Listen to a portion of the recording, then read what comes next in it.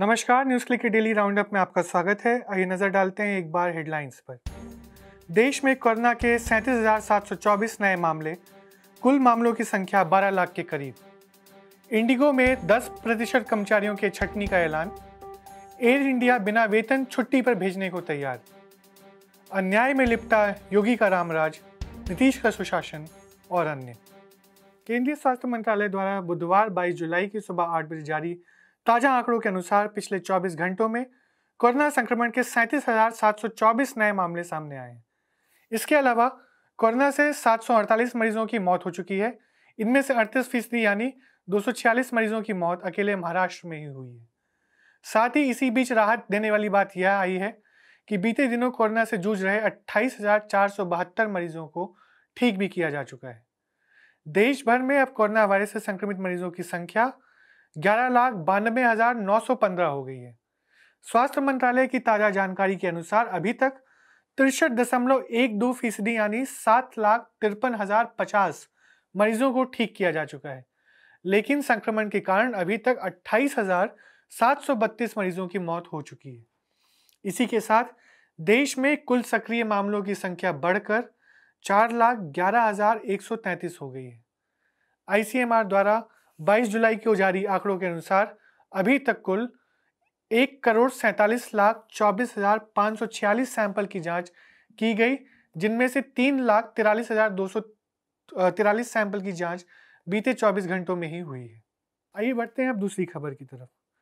Corona और lockdown के कारण गंभीर आर्थिक संकट का दावा करते हुए देश की सबसे बड़ी विमान कंपनी इंडिगो ने अपने 10 फ़ीसदी कर्मचारियों को निकालने का फैसला किया है। यानी लगभग 2200 लोगों की नौकरियाँ जाएँगी। लेकिन यह सिर्फ़ एयर इंडिगो का ही संकट नहीं है, बल्कि एयरलाइंस क्षेत्र में काम करने वाली सभी कंपनियों का मामला है। कई कंपनियों ने अपने कर्मचारियों को बिना वेतन की छुट्टी पर भेज दिया है। यहाँ तक कि सरकारी एयरलाइंस कंपनी एयर इंडिया ने भी अपने कर्मचारियों को बिना वेतन पर छुट्टी पर भेजने की योजना बनाई है, जिसका वहाँ के कर्मचारी संयुक्त रूप से विरोध कर रहे हैं। खोज खबर में वरिष्ठ पत्रकार भाषा सिंह ने बिहार में कोरोना से बिगड़ते हालात, उत्तर प्रदेश में बढ़ते गुंडा राज पर उठाए सवाल। लेखिका अरुंधति रॉय के जेल में सजा काट रहे professor G N Sai Baba को लिखे पत्र के मजमून पर चर्चा की और भीमा कोरेगांव मामले से गिरफ़्तार, कोरोना से जूझ रहे वरिष्ठ क्रांतिकारी कवि वरवरा राव की नाजुक स्थिति पर भी चिंता जताई। आइए सुनते हैं भाषा को। आज हम रुख करेंगे हिंदी पट्टी के दो अहम राज्यों की तरफ़, बिहार और उत्तर प्रदेश। बिहार में एक तरफ़ कोरोना का संकट है, दूसरी तरफ़ बाढ़ का, और तीसरी तरफ़ चुनावी तैयारी का। हमारे पास जो खबरें आ रही हैं, वे बता रही हैं कि भाजपा सहित नीतीश सरकार जिस तरह से कोरोना संकट में भी पूरी देश की मशीनरी को, पूरे प्रदेश की मशीनरी को उसने झोंक रखा है चुनावी तैयारी में वर्चुअल रैलियों में। उसे कोरोना पूरी तरह से फैल चुका है। इस पर नेशनल मीडिया का ध्यान तब गया जब बिहार सरकार में जो वरिष्ठ पदाधिकारी थे, उमेश रजक, उनकी मौत होती है कोरोना से। इतने सीनियर अधिकारी की बिना इलाज के हुई मौत ने लोगों को डराया। उस तब लगा लोगों को कि बिहार में जो घटित हो रहा है वह सिर्फ़ भूमिहीन किसान के साथ नहीं, वह सिर्फ़ एक जो टीचर हैं उनके साथ नहीं, यह किसी के साथ भी घटित हो सकता है और इस पर सरकार की पूरी की पूरी अनदेखी बनी हुई है। साथ ही साथ, असम में जो बाढ़ की स्थिति है, जिसमें सौ से अधिक जाने जा चुकी हैं, इस पर भी बहुत कम बातचीत हुई है। इन सब पर बात करने के लिए बहुत ज़रूरी है सरकार पर सवालिया निशान उठाना। यह निशान उठाना कि नीतीश का विकास कहाँ गया। जब सड़कें की सड़कें बही जा रही हैं, तब यह सवाल आखिर कौन उठाएगा कि जब कोरोना का खतरा इतना तगड़ा है, तब आखिर भाजपा सहित नीतीश किस तरह से इस राज्य को चुनावी चक्की में झोंकने को तैयार हैं? बिहार में अगर कोरोना की मार है, बाढ़ की मार है तो उत्तर प्रदेश में गुंडा राज की मार है।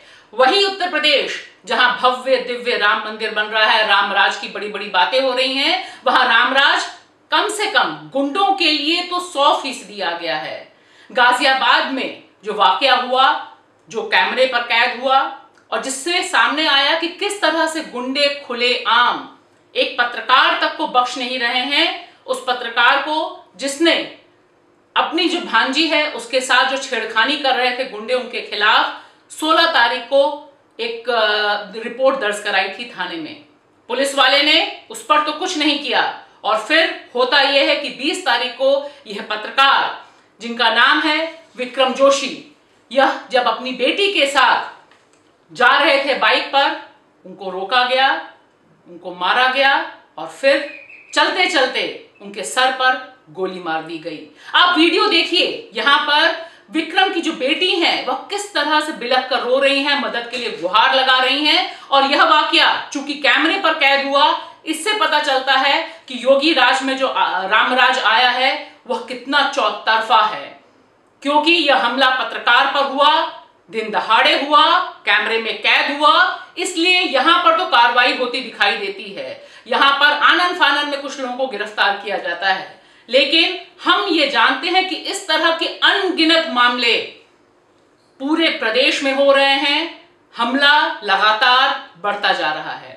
इसी क्रम में हम आपको एक और घटना बताना चाहते हैं, जो हुई उत्तराखंड में, जहाँ वरिष्ठ पत्रकार और पर्यावरण एक्टिविस्ट राजीव नयन बहुगुणा पर हमला किया गया। दिन दहाड़े उनके घर के पास हमला हुआ और आप फ़ोटो देख रहे होंगे, उनकी आँख पर बहुत चोट आई है, पूरा चेहरा सूजा हुआ है और इसके बारे में राजीव ने खुद बताया कि यह हमला राष्ट्रीय स्वयंसेवक संघ से जुड़े हुए, भाजपा से जुड़े हुए कुछ लोगों ने करवाया।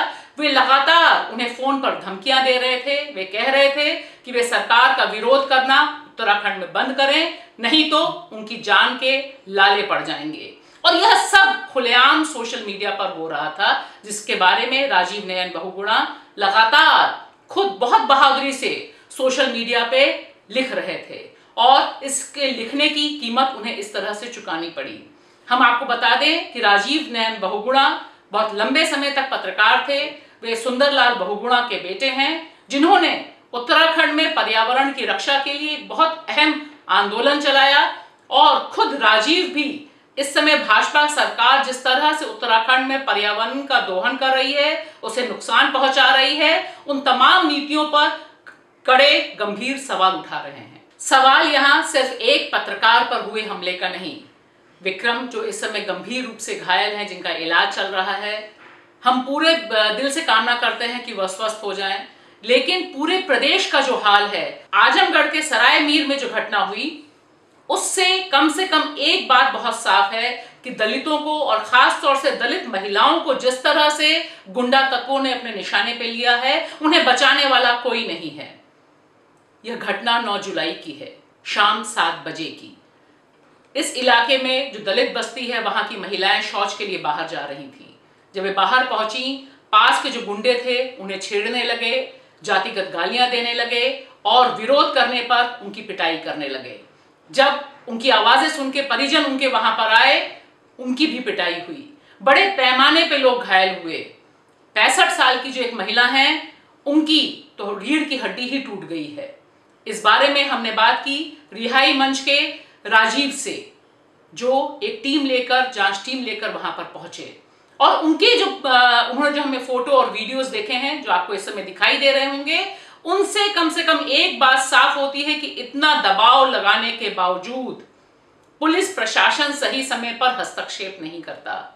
एफआईआर हुई, बहुत बाद में एफआईआर हुई और एफआईआर में भी जो मामला बनाया गया, वो बहुत ढीला ढाला मामला बनाया गया है। गिरफ्तारी किसी की नहीं हुई है। यहाँ की गाँव की महिलाओं ने हमें बताया कि क्योंकि बरसात के समय जो घर में शौचालय बने हैं, उनमें पानी भर जाता है, उनको इस्तेमाल करने लायक नहीं रहते, इसलिए उन्हें बाहर जाना पड़ता है और इसकी वजह से लगातार जो गाँव के गुंडा तत्व हैं, उन्हें निशाने पर लेते हैं और उन पर जातिगत लांछन लगाते हैं।